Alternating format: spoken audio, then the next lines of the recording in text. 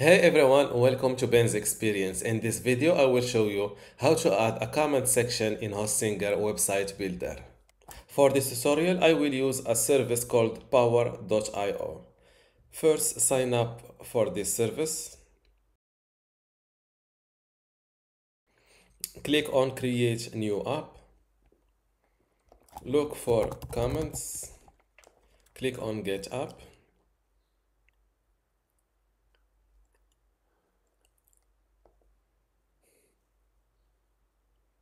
Then click on publish from the top menu. Now from this left side menu, click on embed with code. Copy this code and head back again to Hostinger website builder.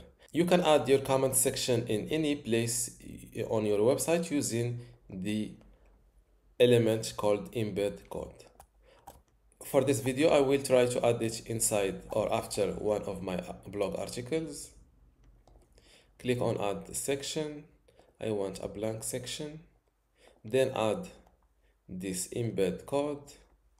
Place it here, double click it, replace this code and hit embed code. Uh, now you can resize these comments section as you like. Now click on save, then update your website. My changes are published. Let's check this article.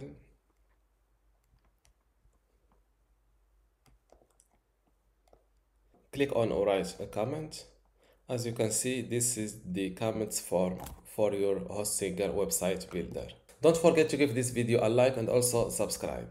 Before you go, I have something special for you. I have two free online video courses for you. The first one is about Hostinger hosting and WordPress managing and the second one shows you how to use Hostinger website builder to make basic websites or online shops. You can get them both for free just by clicking the link in the description. If you like this video, give it a thumbs up and subscribe. If you have any question, leave a comment below.